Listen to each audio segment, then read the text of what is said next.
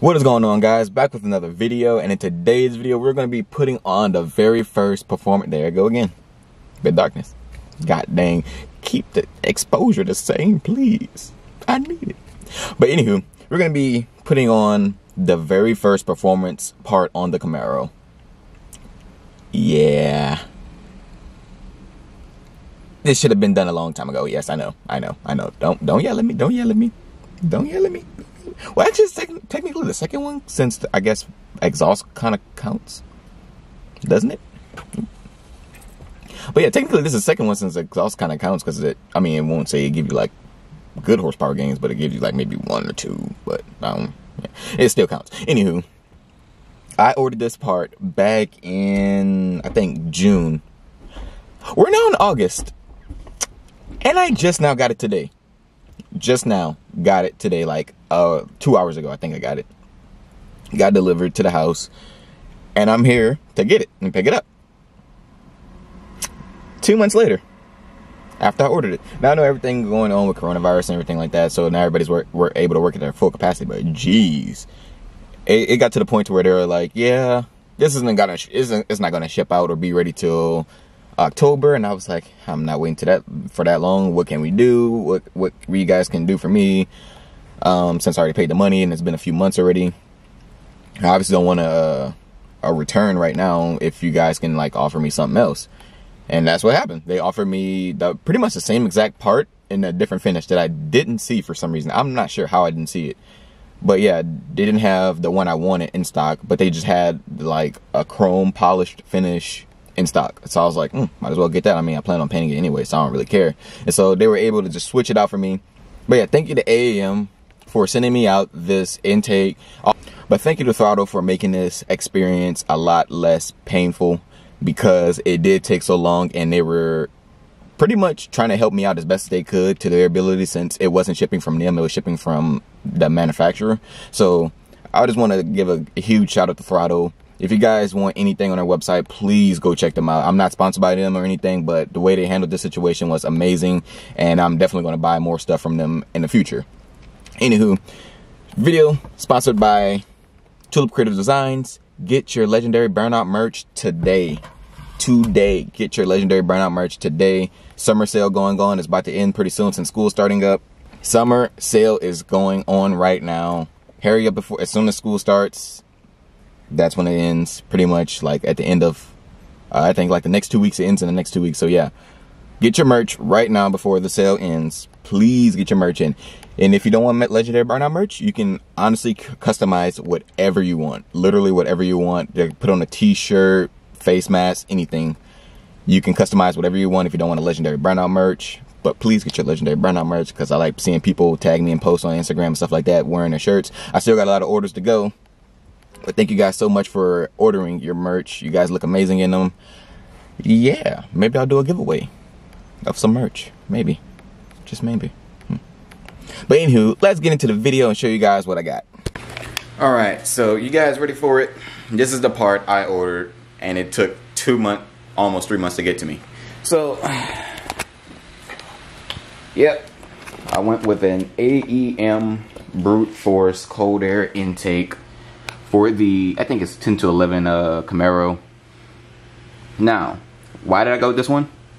Simply because it relocates the uh, the air intake box to like the wheel well, the wheel well area of the car, taking it outside of the engine bay. And if you take it outside the engine bay, obviously it's going to get bringing cooler air and everything like that. So any cold air intake you get and it sits, still sits in the engine bay, it's not going to bring in cold air necessarily but if you relocate it outside the engine bay, it's going to bring in cooler air than compared to if you just left the cold air intake inside the engine bay with no heat shielding and stuff like that. So that's where that's why I went with this one and I waited patiently for it. So yeah, after doing some research on it, the dyno charts and everything that they provide says it gives you about 16 rear wheel horsepower. I'm not sure how true that is, um, but I mean they did back it up with a dyno chart and everything like that. Uh, I'm not sure the conditions of for like from that dyno and everything like that, but that's what they specify. So I'm not sure. Like I don't believe that it's going to give you 16 horsepower, but if it does, great. If it doesn't, oh well. But yeah, I'm going to unbox this real quick and show you guys what comes in it and everything like that. Opening up the package. This is what we got. We got a dog in the background. He's weird. I don't know if you guys can see him. That's my little buddy though. Alright, so like the packaging, I'm definitely gonna put this on my car. I think I don't have one. Let me check real quick. Correction, I do have one. It's black and white, just like this one, which is kind of funny. But it's a uh, CarMax one, so I'm probably gonna take it off and put this AEM Performance one. So I can rep the AEM team. Not sponsored by them at all. Let me put that, not sponsored by them at all. So everything I say in this video will be my straight opinions on it, how everything feels. God dang, this is really thick. Hmm. That must be the relocation bracket for the um, washer fluid, windshield washer fluid. All right, let's get this out. Throw on couplers and everything out of the way. All right, I'm definitely gonna need directions for this crap because this stuff looks a lot more difficult than I anticipated. All right, we got a coupler right here. And we have the windshield washer reservoir that they provide because the old one won't be used again. Not sure how this is gonna work, but I'll see.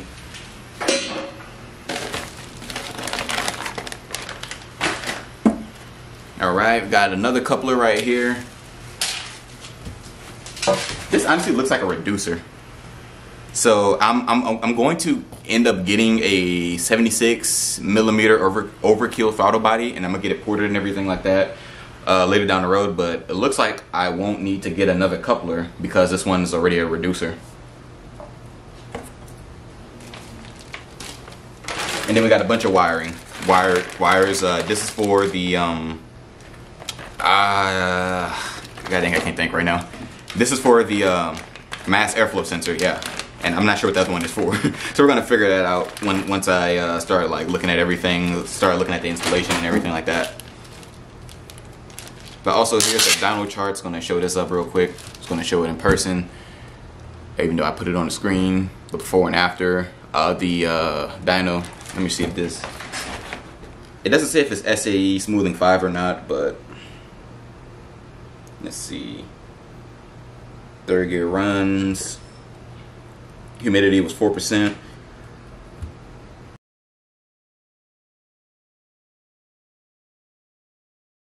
Oh, that's that is funny. So this car made 246 with the AEM cold air intake.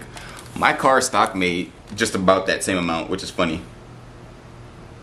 But yeah, 16.39 horsepower at uh, or 16.39 horsepower at 5300 RPMs. Um, that was just the max gain, like the peak gain, gain. Um, so yeah, let's let's look at the installation and let's get into it. Hopefully, I'll be able to install it all in this video. And then we got some stickers right here. Some AEM stickers. I'm not sure what I'm gonna do with those because they're not going on my car. I put the license plate bracket on there, but I'm not putting it on my car. It's too clean. Alright, so I'm gonna read this real quick. Okay, so it wants me to... Alright, I need to see what I should do with the uh, intake reservoir. Like how, how I should get all the uh, fluid out. And what it wants me to do, do with that. Okay, it looks pretty simple. So I can just take it out, pretty much dump the fluid back into the other one. Alright, this is really simple. So yeah, that's reducer. So yeah, I'm eventually gonna get rid of that reducer because one that that restricts um, as much air that can go into go into the uh, intake manifold, and I'm also gonna uh, port the overkill throttle body. I'm gonna get that one eventually. It's only like I think two to three hundred bucks, so it's not expensive at all.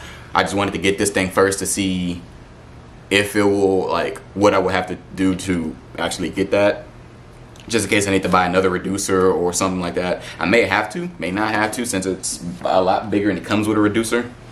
So I may just be able to bolt up the stock manifold, or bolt, bolt up the stock intake manifold. And this is, oh my god, this thing is huge. It's a lot bigger than I thought it was going to be, honestly. A lot bigger. So yeah, I'm going to get into the installation real quick. I'm just trying to read the instructions, make sure I have everything I need before I get started because I don't want to go back and forth to the store just getting stuff that I thought I had and I didn't have. But yeah, I have a lot of tools, so just make sure I have like not like just make sure I don't need any like specific uh, car specific tools that the Camaro may need. So yeah, one second. Let's. Okay, this is a stock intake. The last person who had this car literally did nothing to it. I got to clean that uh manifold cover off because last person who had it literally did nothing to this car besides maintenance. So surprise, surprise. Um, yeah, I was gonna start by disconnecting all the stuff, get rid of this washer fluid thing, pull this heap of junk out, and yeah, we're just gonna get into it. Start ripping and running. I'm gonna put the GoPro on top of my head, and um, yeah, we're just, we're, we're just gonna do it from here. If I can make this camera taller. Wait, I'm also gonna have this camera I'm just looking right here because it's like a perfect shot.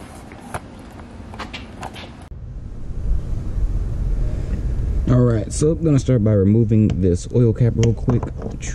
I'm removing the cover. Just going word for word for the instructions. Put the cover on the ground. What the hell? All right, so I'm gonna have to put my phone on top of the uh, top of the instructions because the wind will blow it off. Disconnect. All right, I shouldn't need too many tools at the beginning of this. All right, there we go. Got the airflow sensor off or mass airflow um, wire harness off. I'm gonna need a star bit to get the um, mass airflow sensor off itself. Okay. All right, gotta disconnect this plastic hose. This is the breather breather valve. Why does that look like there's oil right there? Oh wait, that's coming from the that's coming from the crankcase. So probably just um, need a uh, a uh, oil catch can. All right, let's loosen this up. They give you really good instructions. Any like literally anybody can do this. All right, remove the inlet tube and air tank lid from the engine bay.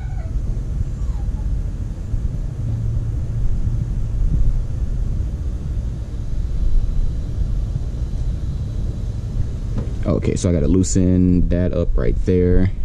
Need to get, all right. So I'm just gonna loosen this up real quick. It'd be nice if I had a friend out here to help. Or not even to help, just to talk to, you know? My brother get lonely from time to time. All right, so we got this big old canister out. I'm gonna toss this out now. so yeah, if, if I do eventually trade trade this car in, I'm gonna put all the stock components back on um, I'm most likely going to trade this car in for the uh, new Mustang that's coming out soon. All right, so move that. I need the mass airflow meter, so you gotta remember that's still on there when the time comes around.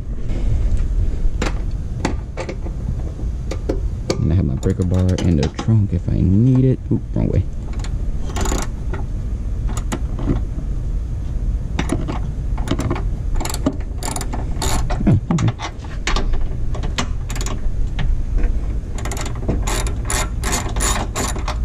All right, I just did all that looking for nothing. That's funny.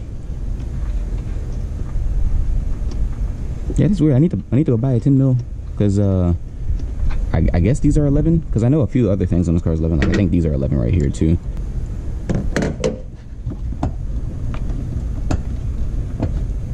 Or is there some in here?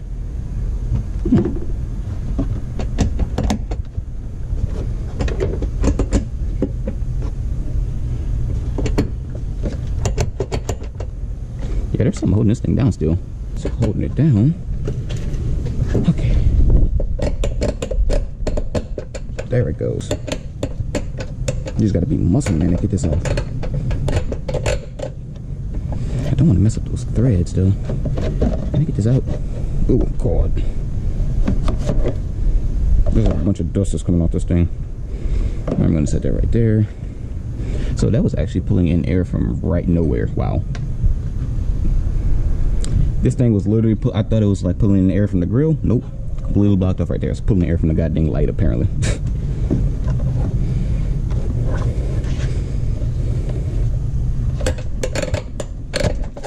there it goes. take this washer. Okay, update. Got it. So it, I didn't I didn't need to take the wheel off. Hopefully I still don't need to take the wheel off. Um, but I, I just pulled it from the top and just put it out that way so it's easier to access so I don't have to be on the ground. It's not a game, it's a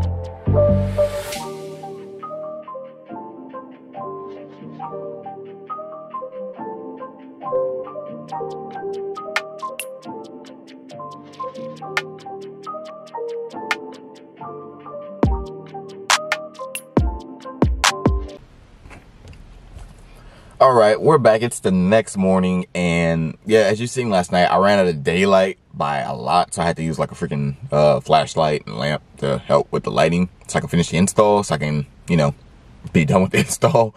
So I'm not sure how well it came out on the GoPro, because the GoPro sucks at low lighting. But yeah, I'm probably gonna have to do a little razzle dazzle in the, you know, the Adobe Premiere. Anywho, um, the install didn't did not take that long because I started it around six o'clock and I, I think I ended it around like 7.30 or 8 o'clock. For some reason, like, it got dark really fast. So, I just wanted to finish the install and then do like the first drive the next day. So, I still got to, you know, do the first drive and everything like that.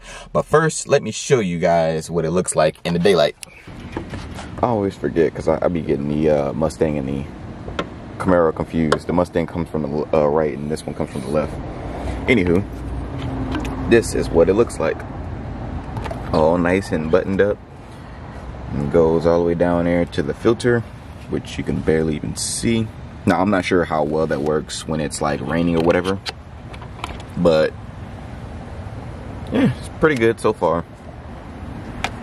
I mean, I've only had it on for a day, so I don't think I really have to worry about water or moisture because it's sitting right under the um, what's it called? The uh, splitter fold.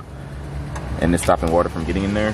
Anywho, finish filling this up with coolant. Coolant.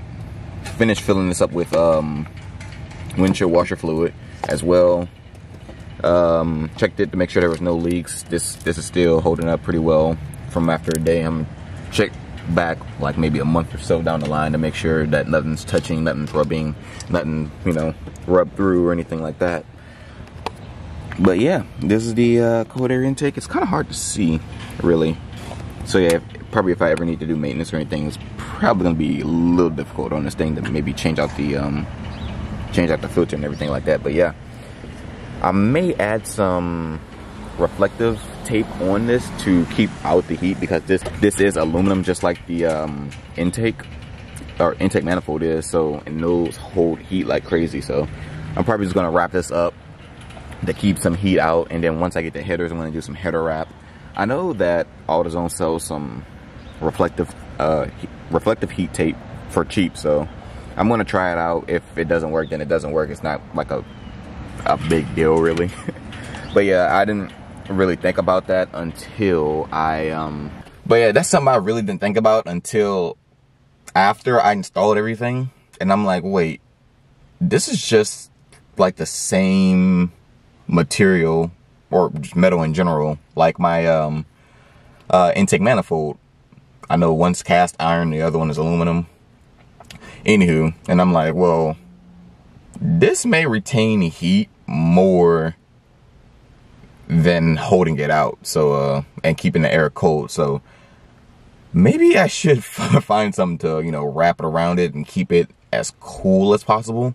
Because as weird as like, you know, it's cold air intake, but yet I'm pretty sure when it, the engine bay is hot, that, that whole intake piping is going to get hot as well. So I'm not sure how that is yet. Haven't driven a car yet. So I'm going to save that first drive for my first impressions and everything like that. And then I'm gonna, you know, give you guys an update a you know, month or so down the line. Uh, probably gonna do the intake wrap in the in the next video or so after the first drive.